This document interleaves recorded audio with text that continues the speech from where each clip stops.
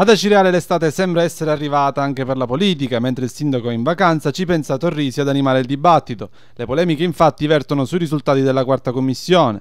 Lo scontro è tra il consigliere Torrisi e il presidente della commissione Monaco. Non ho condiviso quella conferenza stampa fatta dal presidente Monaco, credo per inesperienza politica, che ha voluto fare la sua relazione invece che la relazione di tutta la commissione.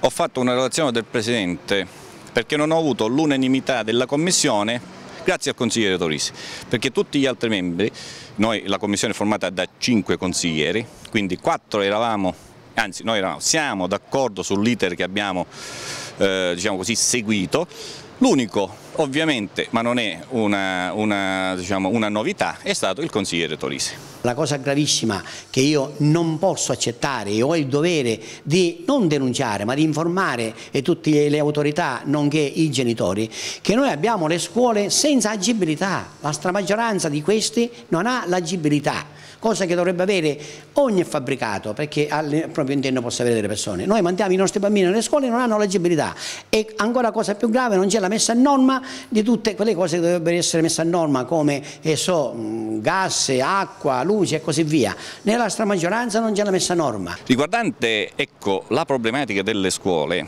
in commissione abbiamo deciso di seguire una strada che è quella eh, del lavoro proprio della Commissione, che è un lavoro propositivo e costruttivo. Cioè, se ci sono dei problemi, noi dobbiamo cercare in qualche modo di andarli a risolvere. Non possiamo metterci ogni volta a criticare, criticare, criticare. I problemi vanno risolti perché la gente, la gente si aspetta risposte, non critiche.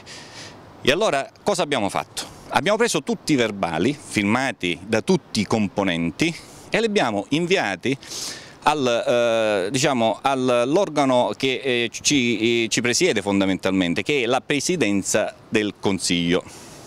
Dopodiché abbiamo inviato per conoscenza sia al sindaco e all'assessore tutti questi verbali e abbiamo chiesto al Presidente del Consiglio Comunale una seduta dove si dovrà discutere esclusivamente del problema scuole. Questo perché?